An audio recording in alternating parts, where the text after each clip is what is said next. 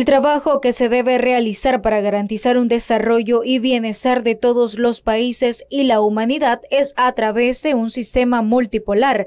Esta es catalogada como la mejor opción por la opinión pública de latinoamericanos encuestados en 16 países, donde un 92.6% se muestran en acuerdo. El sistema unilateral hegemónico o que hegemonizan los Estados Unidos y que, han liderado los Estados Unidos en estos, desde 1947 para acá, este, definitivamente no tiene aceptación en la población por el carácter que, tiene y por, y por las consecuencias que ha tenido eso en términos de agresiones y de inequidad en la geopolítica del mundo.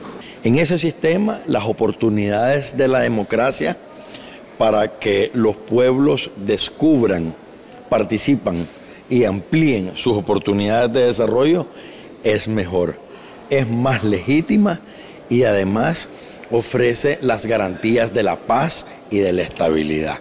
Otro dato arrojado por la encuesta es que la principal injusticia causada por el unilateralismo es la falta de igualdad. Ante esto, un 52% se muestra en acuerdo, así como un 55.2% asegura que el capitalismo es el causante de la pobreza, hambre y guerras del mundo. El modelo que representa el sandinismo en Nicaragua tiene un enfoque social incluyente donde el ser humano es el centro de las políticas públicas y al cual se van agregando las diferentes formas de asistirse de esas políticas.